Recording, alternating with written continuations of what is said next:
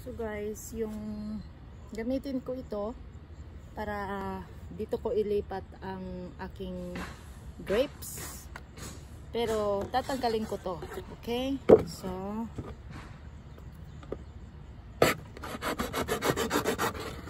hmm. Uyog.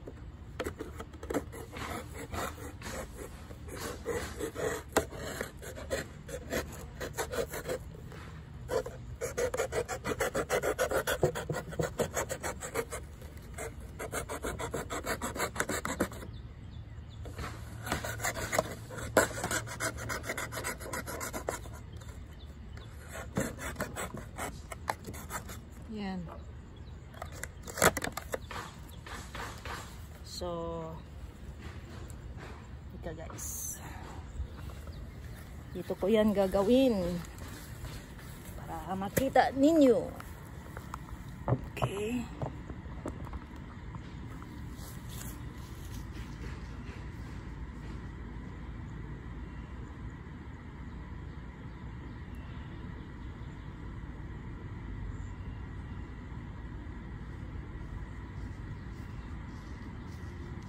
So, tingnan nyo guys ang posisyon ng grapes. Oh, 'di ba?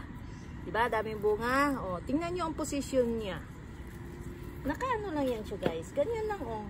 Oh. Ayan, ganyan yan siya. So, talagang lalapat siya sa lupa. So, ang puno niya nandito. So, kailangan kong anuhin, like ganyan, ganyanin ba. So, doon, lalagyan ko yan siya ng kanyang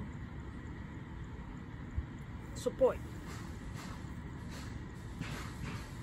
So, first time kong maglipat ng grapes guys. Sana maging successful at hindi ito mamamatay. Alam mo bakit?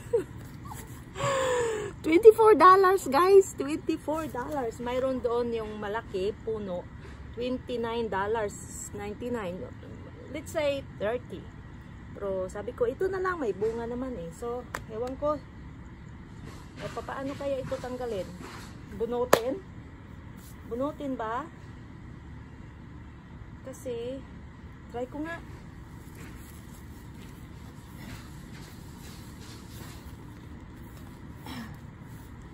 Wala mang bunutin. Okay? Bunutin natin guys ha. Sana nga. Hmm. Hmm. Taob natin.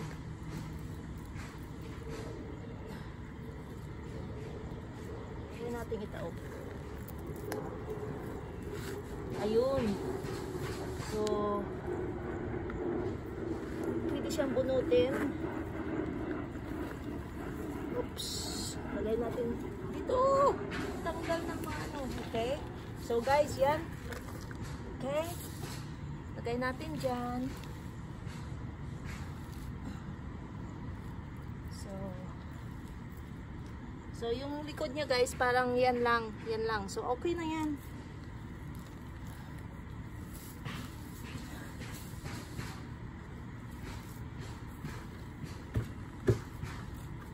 So, lagyan ko lang ng ano.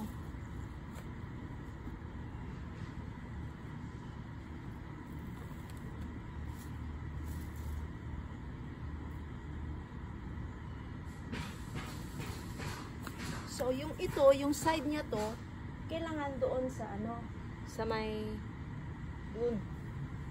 Again, para gagapang siya, guys.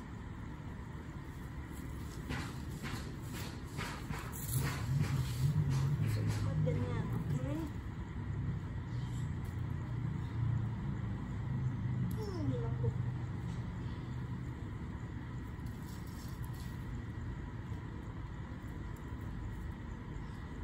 Pwede rin siguro pahigain ng kaunti. Ganyan. Pahigain ng kaunti para may support. Diba?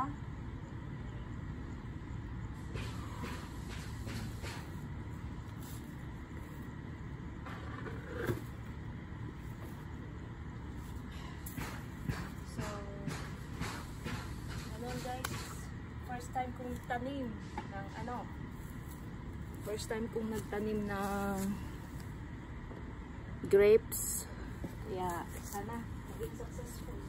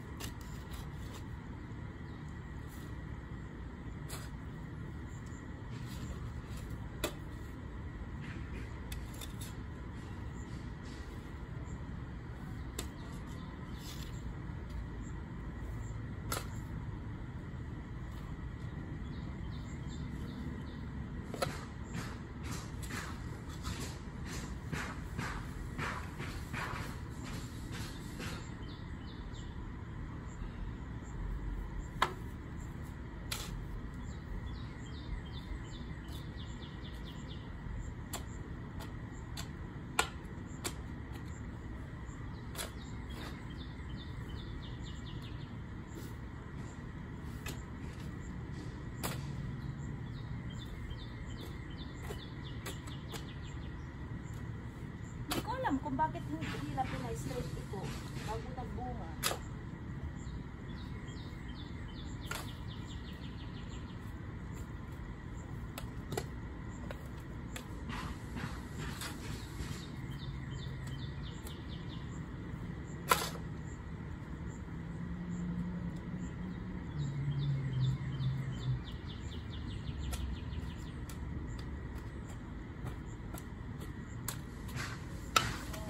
Ano nga, for the first time, maging successful ito guys.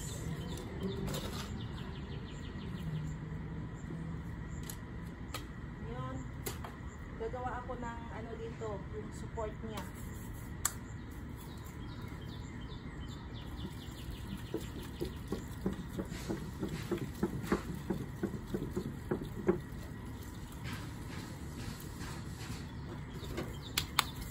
Thank you guys for watching.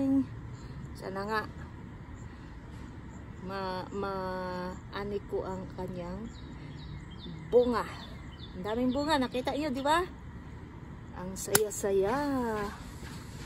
Thank you.